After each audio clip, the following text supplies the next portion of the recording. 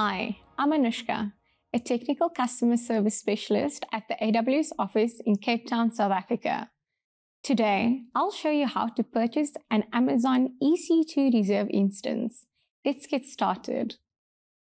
When you purchase an Amazon Elastic Compute Cloud Reserve instance, you commit to using that EC2 Reserve instance for a one year or three year period. In exchange for this commitment, you receive a significant discount of up to 72% compared to on demand instance pricing for an EC2 reserved instance. Let me show you how to purchase your EC2 reserved instance. Navigate to the EC2 dashboard in the AWS Management Console. Under Reserve Instances in the navigation pane, choose Purchase Reserve Instances. You'll see the Reserve Instance Purchase wizard.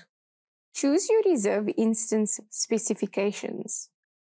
First, select the instance details such as platform, tenancy, and the instance type that match your on-demand instance usage.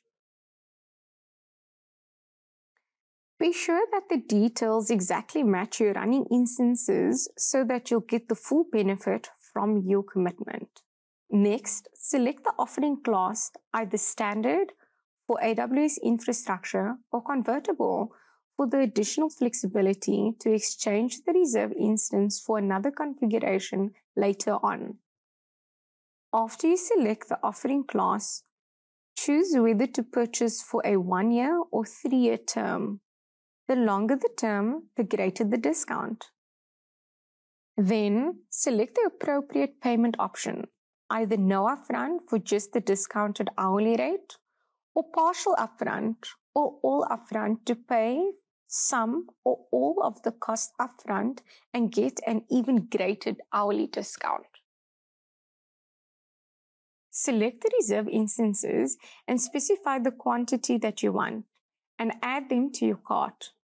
Choose View Cart to view your cart before you complete the purchase of the reserve instances. Choose Order to complete your purchase. Your default payment method is charged immediately for any upfront costs. Note that after you purchase a reserve instance, you can't cancel the purchase. And now you know how to purchase an Amazon EC2 reserve instance.